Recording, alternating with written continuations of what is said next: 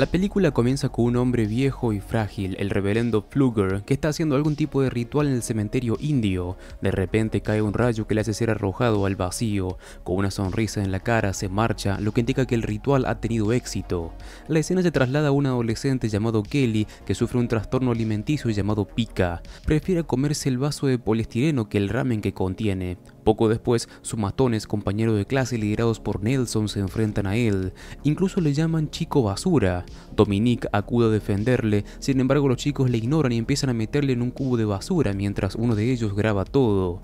Después de que los chicos huyen, Dom se ofrece a llevarle al colegio con el coche de Sara, pero Sara lo rechaza. Kelly llega a la escuela mientras se come un vaso de poliestireno. En el colegio todos sus amigos se ríen de él porque el video se ha difundido entre los alumnos. Después del colegio, Kelly vuelve a casa y se encuentra con su madre Bernice. Mientras la ayuda, agarra el recibo y se lo come. Por otro lado, la madre de Dom cree que se está enamorando de Nelson, pero Dom lo niega porque es imposible que esté enamorada de un matón. Se enfada cuando su madre también piensa que Kelly es un chico raro. Resulta que Dom siente algo por Kelly desde el instituto. La escena se traslada a Alce Rojo, un nativo americano que acaba de descubrir que el poder oculto guardado en el cementerio ha sido robado. El desorden alimenticio ha traído un impacto negativo hacia el cuerpo de Kelly. Está débil y desnutrido. El médico no puede ayudarle porque cree que es un problema psicológico. Fluger finalmente aparece de nuevo, esta vez afirma tener un superpoder que puede curar cualquier enfermedad. Consigue curar la enfermedad de una anciana con solo tocarla, lo que conmociona a todos los que están cerca. Bernice ve el milagro y le pide ayuda para curar a Kelly. Él accede a hacerlo. De repente, Alce Rojo se enfrenta a Plugger y la bofetea, pero el dolor se traslada a él. El anciano no siente dolor alguno. Alce Rojo revela entonces que el poder curativo no le pertenece y que va a acabar destruyéndole. Insta a Flugger para darle el poder, pero el engreído anciano se niega y se marcha. Bernice regresa a casa trayendo a Flugger con él. El estado de Kelly empeora y comienza de inmediato el proceso de curación, pero parece que de repente el viejo puede sentir el dolor de Kelly. Sintiéndose incómodo, se toma un breve descanso y consume su polvo mágico. Luego sigue tratando al pobre joven. Sin embargo, Flugger siente un dolor insoportable al tocar a Kelly, lo que hace que el cigarrillo se le caiga en el pecho de Kelly. Este intenta resistir el dolor, pero de repente cae y muere en el acto. Unos instantes después, Kelly recupera la energía y le dice que tiene hambre. La policía llega y uno de ellos, Adler, se da cuenta de que la quemadura en el pecho causada antes por el cigarrillo ha desaparecido, lo que confunde a la madre de Kelly. Al día siguiente, Kelly se corta accidentalmente un dedo mientras arregla su bicicleta, pero ocurre un milagro y la herida desaparece por arte de magia. Kelly intenta explicárselo a su madre, pero ella no le cree. De camino al colegio, Kelly se encuentra con Dom y Sara, que se sorprenden al verle más sano y en mejor forma que ayer. Cuando se marchan, Reed, el hermano de Nelson, se enfrenta a Kelly y empieza a darle puñetazos, pero el dolor se transmite a Reed mientras que Kelly no siente nada. Incluso intenta herirle con un bloque de madera, pero fracasa. Al darse cuenta de que no puede vencer la nueva versión de Kelly, Reed huye con moretones por toda la cara. Más tarde esa noche, Gus, el padre de Reed y entrenador de fútbol de la escuela, viene a confirmar lo que le pasó a su hijo. Kelly afirma que Reed se hizo daño a sí mismo. Gus no le cree, pero Bernice les obliga a marcharse. Kelly finalmente le revela a su madre su habilidad para transferir el dolor, diciendo que nadie volverá a hacerles daño. Incluso puede resistir el mechero. Al día siguiente, en clase, Kelly pone en marcha su imaginación y se imagina a sí mismo con Dom, que se vuelve travieso con ella. Sara, que odia a Kelly en el mundo real, también se une a ellos.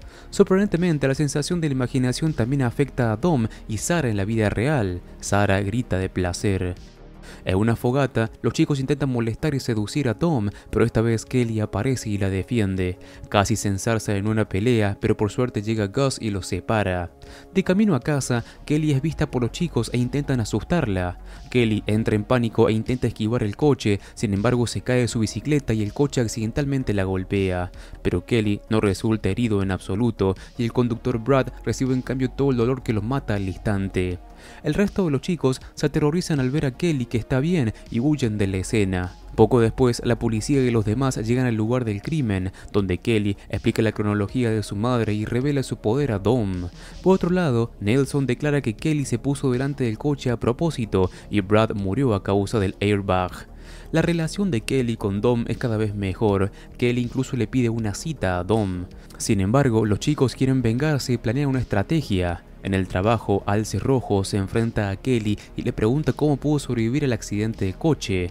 Entonces se revela que Flugger le ayudó y no sabe nada del poder. Kelly vuelve a casa y descubre que su madre no está en buenas condiciones, entonces sale a comprar una aspirina. Fuera de la casa, los chicos han estado esperando y piensan que fue Bernice quien se fue. Ejecutan el plan y empiezan a tirar los cimientos del contenedor con el coche de Gus, provocando su caída y la rotura de la tubería de gas. Bernice intenta escapar pero la casa explota de repente debido a la fuga de gas, matándola al instante. Kelly regresa a casa y se queda muy conmocionado cuando descubre que su madre ha fallecido. La llevan al hospital donde aparece Adler e intenta ayudarle. De repente, Alce Rojo se enfrenta a Adler diciéndole que Kelly posee el poder de su antepasado y le pide que le ayude a recuperarle el poder. Después del funeral de su madre, Kelly va a la tumba de Flugger y accidentalmente se come una enredadera causando sufrimiento y vómitos. Sara presencia el suceso y se marcha. Adler intenta ayudar al pobre chico ofreciéndole irse con la familia de acogida. Mientras van de camino, Adler afirma que los soportes del contenedor fueron arrancados a propósito y que la muerte de su madre no fue un accidente. Un momento más tarde, Nelson y los otros chicos que se dirigen al río se encuentran con Kelly y se burlan de él desde su coche. Desde entonces, Kelly llega a la conclusión de que ellos son los autores de la muerte de su madre. A continuación, salta del coche del sheriff. Kelly descubre a los chicos que se divierten en la orilla del río. Tucker salta al agua y los demás comienzan a lanzarle piedras. Kelly se cuela y agarra la camiseta de Tucker. Como de costumbre, se la come antes de utilizarla para estrangularse. Tucker siente inmediatamente el efecto haciendo que se ahogue. Nelson intenta ayudarle mientras Reed huye, pero es demasiado tarde. Kelly aparece entonces e intenta hacer lo mismo, pero Adler llega a tiempo y Kelly huye. Tucker está muerto y Adler empieza a interrogar a los chicos. Le dicen que fue culpa de Kelly. Tras enterarse del incidente de Tucker, Dom le insta a que deje de matar gente. Ella le sugiere que en vez de eso les haga confesar. Al día siguiente, en clase de química, Kelly llega tarde y se burla de Tony, forzándolo a admitir que es un asesino de su madre. Tony está furioso y vierte la solución hacia la cara de Kelly, sin embargo, a Tony le quema la cara y lo mata al instante. Las chicas están muy conmocionadas y Kelly huye mientras Adler llega a la clase. Esa noche, Sarah se acerca a Nelson y le cuenta lo que ha visto antes en el funeral. Van a la tumba de Flugger y reconocen la planta que antes hizo sufrir a Kelly. Nelson prepara el brebaje y lo guarda en un extintor. Al día siguiente, Adler encuentra en la camioneta de Gus las cadenas que se usaron para arrancar los soportes del contenedor de Kelly. Inmediatamente se enfrenta a los chicos y les obliga a confesar, pero ellos siguen mintiendo diciendo que no saben nada. Por otro lado, Kelly se cuela y roba un taladro eléctrico del coche de Nelson. Entonces aparece de repente con su arma mientras Nelson también está preparando su extintor. Kelly comienza a taladrar su propia rodilla, provocando que Nelson sienta el dolor exacto. Adler finalmente cree lo que Alce Rojo dijo antes, mientras Don viene y le dice que se detenga.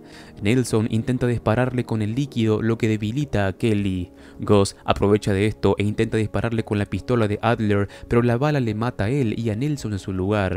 Dom, decepcionado con Kelly, le ruega que le devuelva el poder a Alce Rojo. Este accede regañadientes. Alce Rojo y Adler comienzan la ceremonia de transferencia de poder frente a la tumba de Flugger. Sin embargo, el poder ha sido parte de él y no tiene más remedio que matarlo.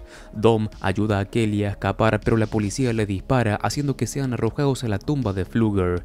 No puede salvar a Kelly y culpa al viejo por haberle dado tal poder. Enfurecido, Kelly se come el corazón de Flugger y muere repentinamente.